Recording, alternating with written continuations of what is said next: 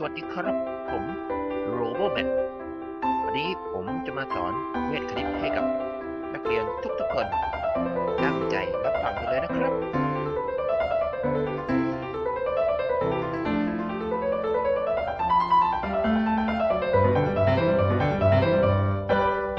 เลขคณิตเป็นการคำนวณเลขแบบมีระเบียบของคนอินเดียนะครับ เอ่อ มีมานานกว่า 2,000 ปีนะครับ แล้วก็ ท่านที่ได้ไปพบเจอนะครับ แล้วก็ได้รวบรวมข้อมูลเหล่านั้นนะครับ เกี่ยวกับเลขคณิตการคำนวณเลขนี้นะครับ คือท่านศิบรตีกิษณะเทอทาจีมหาราชาครับ แล้วท่านได้รวบรวมออกมาเป็น 16 สูตร หรือเรียกว่า16คำพูดนะครับ ที่เอาไปใช้ประโยชน์ในการคำนวณเลขให้เร็วขึ้นได้นะครับ เลขของเด็กป .1 นะครับ เราจะบวกไม่เกิน 10 นะครับ จะค่อนข้างง่าย ดูนะครับ เลขเหล่านี้ เด็กนักเรียนทุกคนต้องฝึกคิดในใจให้เร็วนะครับ คือเห็นแล้วต้องตอบให้ได้ทันที เพราะเป็นพื้นฐานที่สำคัญที่สุด ครับ นี่ครับตอบ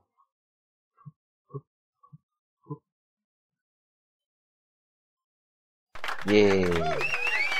ใครตอบถูกบ้างครับ อันนี้ฝึกนะครับก็เรียกว่าฝึกแตกตัวเลข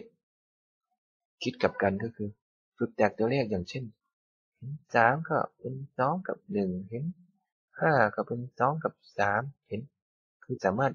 เห็นเลขเหล่านี้ในหัวได้ทันที เป็นพื้นฐานสำคัญนะครับ ข้ามนะครับ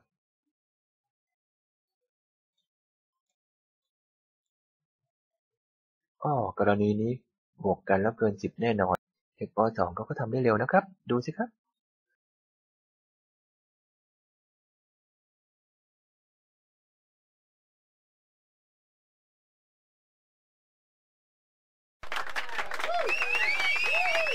เขาก็มีวิธีการคำนวณให้ง่ายขึ้น ว่าทำเช่นใดครับ วิธีนี้เราจะต้องรู้จักเลขทบสิบก่อน เลขที่รวมกันแล้วได้สิบเก้ากับหนึ่งสองกับแปดกับสองเจ็ดกับสามเลขพวกนี้รวมกันแล้วได้สิบนะครับหกกับสี่ห้าก็ต้องกับห้าสิครับ อ่า แล้วเราจะทำยังไง เราจะใช้ วงกลมอะไรเนี่ยแปลกๆเนี่ยใช้ยังไง เราจะแปลงเลขเยอะๆนะครับ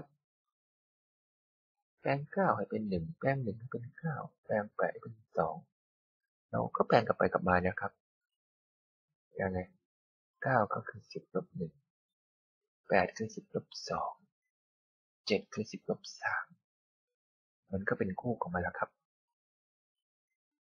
อ้าวแล้วการบวกไปเกี่ยวอะไรกับการลบแล่ะครับ ก็ มันทำให้ง่ายขึ้นแล้วก็ทำนะรูปแปดสิครับ นี่เราเป็นแปลงเป็นสิบลบสองแล้วหกไปลบกับสองเหลือสี่เพิ่มอีกสิบเป็นสิบสี่อ่าเลขมากสุดตัวไหนเก้านะครับเก้าคือสิบลบหนึ่งแปลงเลขเยอะๆให้เป็นเลขน้อยๆก็เจ็ดลบกับหนึ่งเหลือหกสิบหกครับอะเจ็ดเยอะกว่าห้า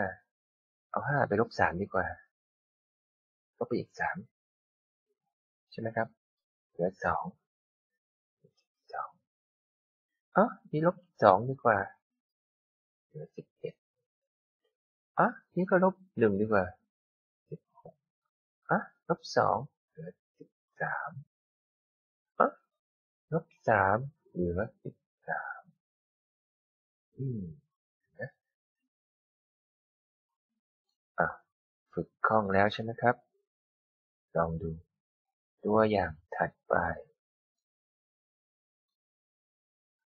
จะสรุปรายละเอียดวิธีคิดว่า เอ๋เราจะฝึกให้เร็วขึ้นได้ยังไงกันอ่าเลขเหล่านี้นะครับ เห็นปุ๊บก็ตอบเลยนะครับนี่ทำได้ไงเนี่ย เมื่อกี้เขียนผิดครับ เขาก็ เห็นเก้าปุ๊บเขาก็รู้แล้วต้องลบกับหนึ่งเก้าก็เหลือแปดนะแปดก็เหลือเจ็ดเจ็ดเหลือหกหกเหลือห้าห้าเหลือสี่หนึ่งสามสามเหลือสองสองเหลือหนึ่งอ่าได้แล้วได้เทคนิคแล้วข้ามเจอเลขที่บวกกันกับเก้าแล้วก็ง่ายเลยทีนี้ แล้วถ้าบวกกับแปดล่ะอ่านี่คือ การฝึกนะครับเลขแปดก็ต้องไปลบกับสองใช่ไหมบางคนเก้าลบสองลบไม่ค่อยคล่องก็นับนิ้วก็ได้เก้าแปดเจ็ดนี่ครับเป็นสิบเจ็ดแปดลบสองเหลือหกครับ คนที่เขาตอบในใจเขารู้ได้ไงครับอ่านี่เขารู้ว่าเจ็ดต้องลบกับสองนะถ้าสองบวกอะไรได้เจ็ดเขารู้แล้วว่าเจ็ดตอบเป็นสองกับห้าอ่า ก็เป็นสิบห้าหกอ่าหกก็คือสองกับสี่ก็เป็นสิบสี่ห้าก็คือสองกับสามเป็นสามสองกับสองเป็นสองอันนี้สองกับหนึ่งก็คือเหลือหนึ่งสิบเอ็ดนี่สิบอืมบางคนมันมีอีกวิธีหนึ่งนะครับ เด็กบางคนไม่ได้มองเป็น เขาก็มองเป็นสองกับหนึ่งแหละครับ แต่ว่า เขาจะมองเป็นเลข รวมกันได้สิบก่อน คือแปดบวกสองได้สิบแล้วก็บวกกับหนึ่งเป็นสิบเอ็ดอะกับอีกวิธีหนึ่งก็คือ เอาสามไปลบกับสองแล้วก็บวกกับสิบนี่ครับ ใช่ไหมแบบวิธีที่เราสอน ก็เหลือหนึ่งก็เป็นสิบเอ็ดสองวิธีนี้อยู่ที่ใครฝึก ถ้าเห็นแตกเลขต้องฝึกนะครับ จะทำได้เร็วขึ้นทำนะครับ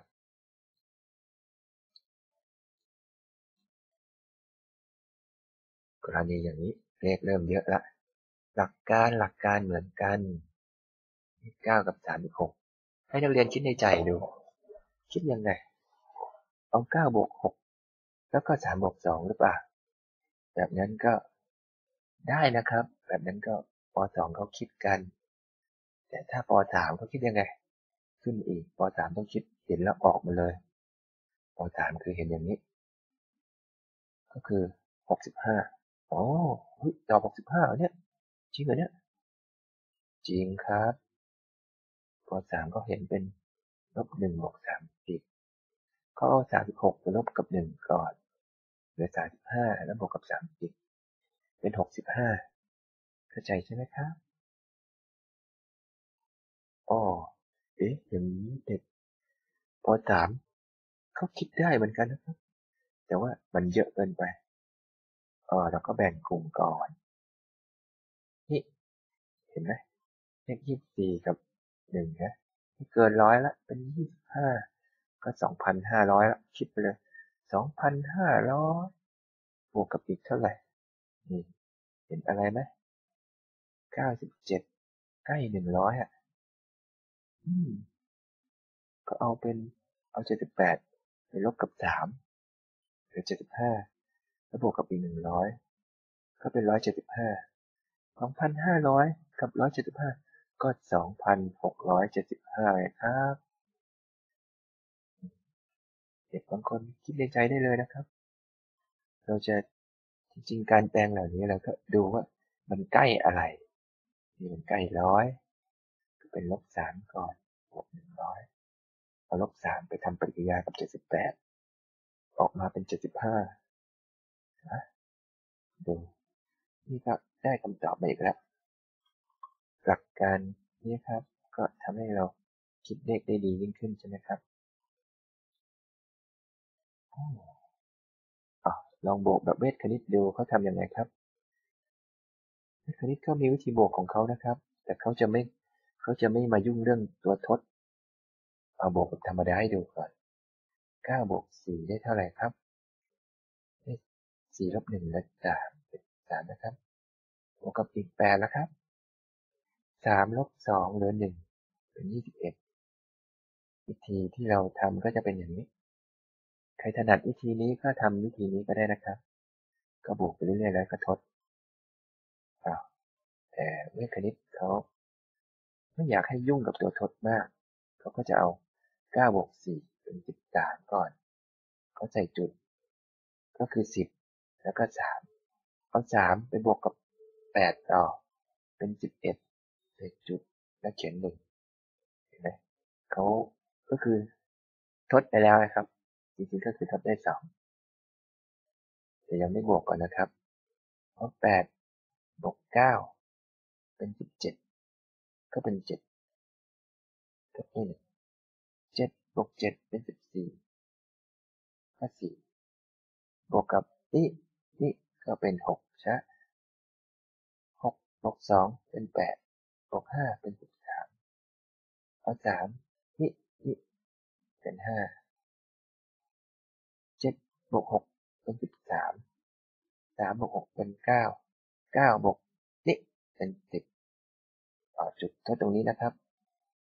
ตรงทดฝั่งนี้นะครับสี่บวกห้าเป็นเก้าเก้าบวกสองสิบเอ็ดหนึ่งบวกจุดจุดเป็นสามเจ็ดห้าเป็นสิบสองสองบวกแปดเป็นสิบศูนย์บวกจุดเป็นหนึ่งเก้าบวกสามเป็นสิบสองจุดสองบวกเก้าเป็นสิบเอ็ดจุดหนึ่งบวก ก็เป็นสามแปดบวกสองเป็นสิบจุดศูนย์บวกเจ็ดเป็นเจ็ดบวกกับแปดแล้วกเก้าครับ เป็นเก้านะครับ จุดที่เหลือก็นี่ลงมานะครับหนึ่งเก้าสามหนึ่งสามศูนย์ห้าหกหนึ่งดูคำตอบหนึ่งเก้าสามหนึ่งสามศูนย์ห้าหนึ่งเห็นไหมครับ ตรงครับ แต่ว่าเราคิดถูก เลขคณิตมีการจดคำตอบแบบหนึ่งด้วยนะครับ ดูนะครับว่าเขาคิดยังไง เขาเอาตัวเลขนี้มารวมกันครับนะครับ แล้วก็ดูว่าได้เท่าไหร่นะครับ ดูนะครับคิดไปก่อนนะครับสามบวกสองเป็นห้าสิบสี่ยี่สิบเอ็ดยี่สิบเจ็ดสามสิบห้าสี่สิบสี่สี่บวกสี่ต่อกันเป็นแปด ขียนแปดครับแปดเก้าเจ็ดห้าหกสองเก้าสี่ไม่ต้องเขียนแบบนี้ก็ได้เขียนตรงนี้เลยครับว่าบวกกันได้เท่าไหร่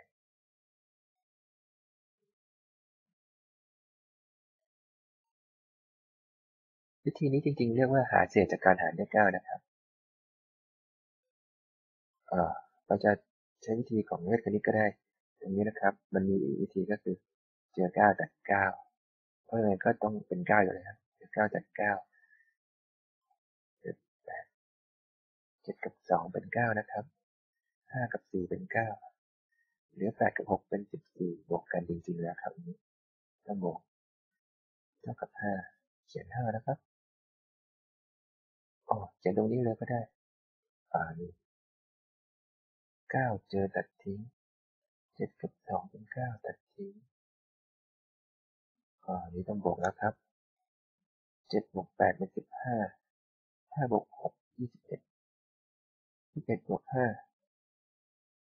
ยี่สิบเอ็ดบวกห้าได้สิบหกสิบหกบวกแปดสามสี่ก็สามบวกสี่บวกเจ็ดเจ็ดตรงนี้ แล้วเราจะเอามาบวกกันเจ็ดบวกห้าเป็นสิบ บวกแปดเป็นยี่สิบเลขชุดนี้บวกกันเท่ากับยี่สิบสองบวกศูนย์ก็ได้สองนี่ครับ ชุดเหล่านี้รวมกันได้สองอ่าเราจะบวกชุดนี้ รวมกันว่าได้สองหรือเปล่า แล้วก็ใช้วิธีตัดเก้าคัสเอาใบในนะครับเก้าตัดทิ้งสามตัดทิ้งห้าหกเจ็ดแปดเก้าตัดทิ้งเหลือสอง นึ่งหนึ่งสองเห็นไหมครับคำตอบตรงกัน ความน่าจะเป็นในการตอบก็คือถูกครับ วิธีนี้ก็คือคำตอบถูก ครับ วิธีนี้จริงๆ คือเกิดจากการหารด้วยเก้าแล้วเอาเศษจากการหารด้วยเก้ามาตรวจคำตอบนะครับ ซึ่งเศษจากการหารด้วยเก้าก็จะเป็นเลขเฉพาะของมันเราจะบวกกันไปเรื่อยๆ เป็นเลขชุดใหญ่แค่ไหนเศษจากการหารด้วยเก้าจะต้องเท่ากันนะครับ โอเคจบตอนแล้วครับ ง่ายไหมครับ สรุปการบวกนะครับ การบวกเราก็ต้องทำเลขยากๆให้เป็นเลขง่ายๆ แล้วเราก็จะบวกได้คล่องโดยการเพิ่มเข้าหรือการลบออก เจอ 57 51นะครับ ก็เป็น เห็นเอ๊ะเห็นไหมเราเห็นเป็นอะไรเนี่ย เราเห็นเป็นอย่างเนี้ย คนคนที่เขาคิดเลขเร็วๆในใจเขาก็เขาเห็นเป็นอย่างเนี้ยเขาเห็นเลขเหล่านี้ยเป็นแบบนี้เขาแตกไปแตกมาได้ครับแปดเก้าอย่างเงี้ยครับเขาเห็นเป็นแบบนี้นะครับโอเค สรุปจบ